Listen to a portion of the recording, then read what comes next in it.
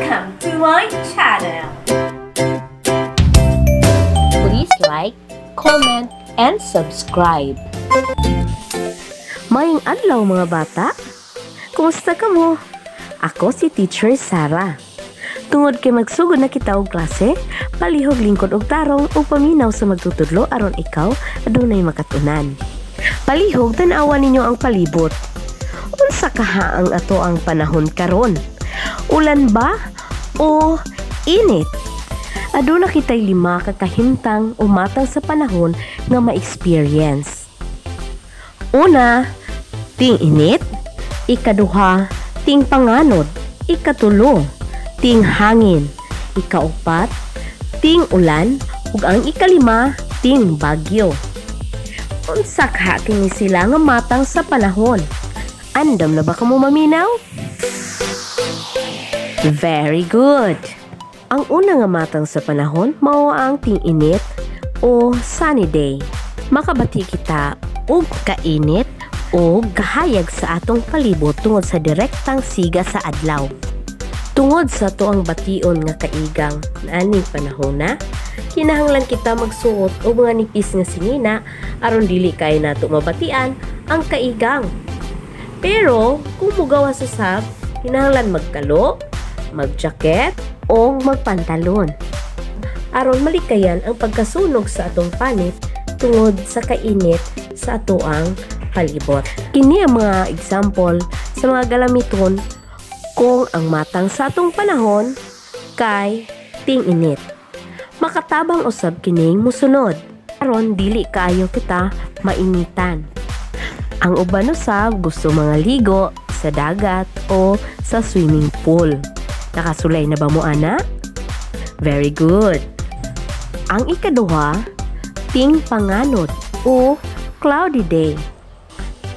Landong ang atong palibot ni ini. Tungod kay ang kahayag sa adlaw, dili direktang makagawas. Tungod kay adunay daghan kayong mga panganod sa palibot ni ini. Tungod kay landong man kini nga panahon, mas nindot idula sa gawas sa imong gusto nga dulaon. Pero ano ba nan usab sa imong pag-amping?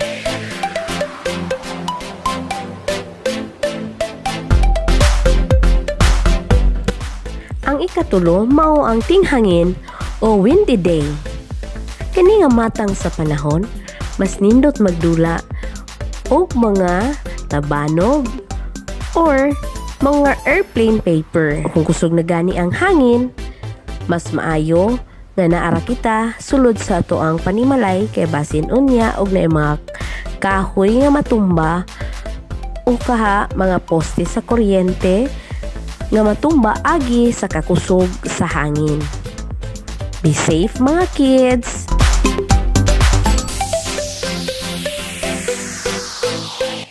Ang ikaupat nga matang sa atong panahon mo ang ting-ulan o rainy day.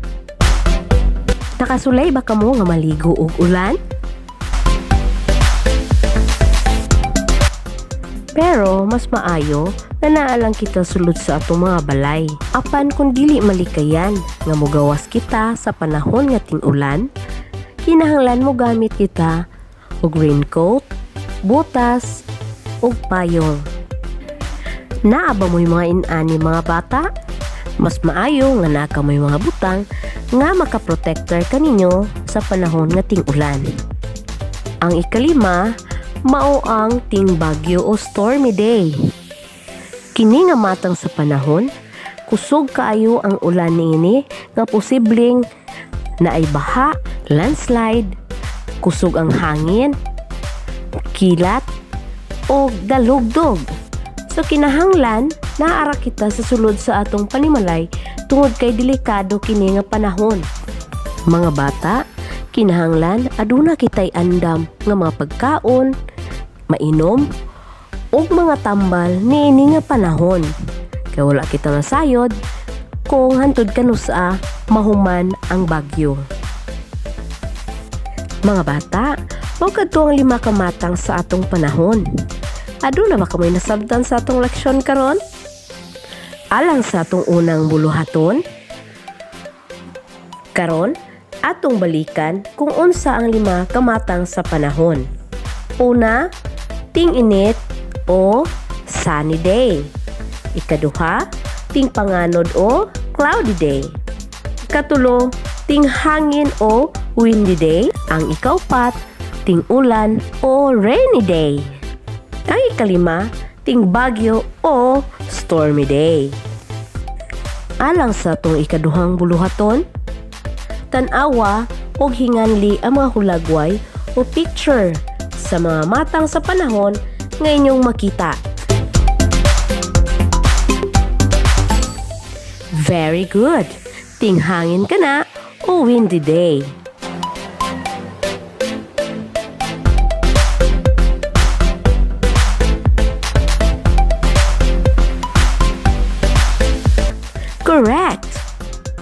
Panganod o cloudy day kini.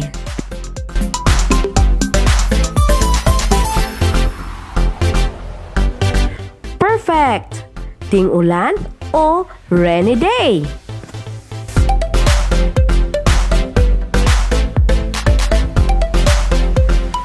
You're right! Ting init o sunny day kini.